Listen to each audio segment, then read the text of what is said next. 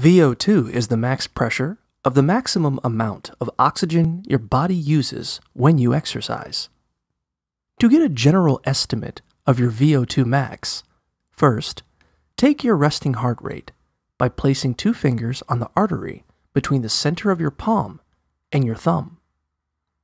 Count the number of beats over 60 seconds. Then, take your maximum heart rate by working out to exhaustion, and then checking your pulse again for 60 seconds.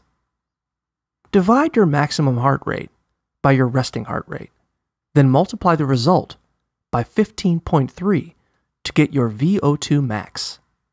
For example, if your resting heart rate is 85 beats per minute and your maximum heart rate is 200 beats per minute, you would divide 200 by 85 and get 2.35.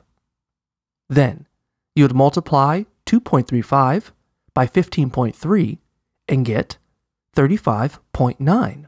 Therefore, your VO2 max would be 35.9. The higher your score, the more in shape you are. If you want a precise measurement of your VO2 max, contact a sports medicine facility and complete a stress test. There are also fitness trackers, like a Fitbit or Athletic Watch, that you can use to monitor your VO2 max while you work out.